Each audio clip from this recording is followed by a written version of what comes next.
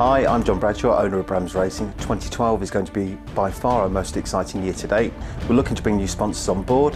Hopefully you find this video a lot more interesting than the typical 20 page PowerPoint that you receive. The interest generally uh, worldwide in Japanese cars is ever growing with PC games, everything from PlayStation to Xbox, right through to the amount of road cars on the road. People can relate to what we do and I think that's really helped the team's popularity grow first record to fall for us was the world record for Nissan Skyline and that was fantastic but even then behind the scenes we wanted more and we had a second car waiting to be developed. That car has since gone on to become the first six second Japanese car in Europe and believe it or not we've got a third car and the plans are to develop that one to become the fastest Japanese car in the world.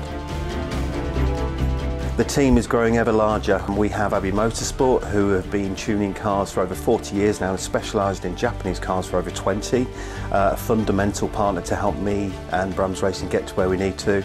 Performance Motorsport are based in New York and they are lending us all of their expertise in terms of engine building and design. And obviously we have numerous sponsors on board and uh, the whole thing is really moving forward at pace now. A very special thank you has to go to Abbey Motorsport for developing the engine now to the point where it's producing over 1900 horsepower.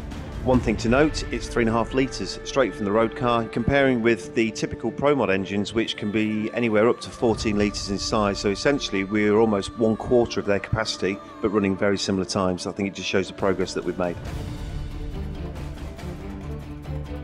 You think going in a straight line's easy, but it's not. My brain's always working on what we can do next looking into the data logging and working out what the car's doing and working out how we can make it go faster. The team has gone global and 2012 and 2013 is going to see us race right across Europe in Sweden, Finland, Germany, the UK. 2013 sees us actually racing in Australia and probably US also. We've been to Autosport, we've been to the Cologne Motor Show. Next year we'll see us do both of those plus PRI out in the States. We had a look at total attendance figures for all the events that we're going to be attending next year and it's actually going to be over half a million including some of the demo events that we're attending i.e. MotoGP and also British Superbikes as well. It's been absolutely superb. We had the car on our stand at Auto Sports Show the year before last. It hadn't done any runs or broke any records then. Obviously we would talk about what we wanted it to do, what John wanted it to do and obviously what Abbey wanted it to do and within a very short period of time it's been consistently doing six second quarter miles and hopefully this year we'll be able to break some more records again. I think you know the main thing that we're really trying to keep pace with is looking after the sponsors that we brought on board um, but also making sure that from a calendar point of view we are really concentrating our efforts on where they need to be. Uh, again the whole profile of the team has changed in terms of where we're going to race, why we're going to race and uh, it's getting bigger every single year.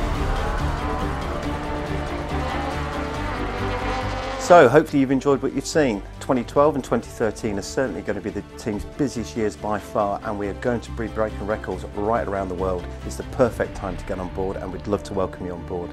If you'd like to know more and get in touch, please email me at johndjbradshaw at yahoo.co.uk and the email address will also be right at the end of this film. Look forward to hearing from you.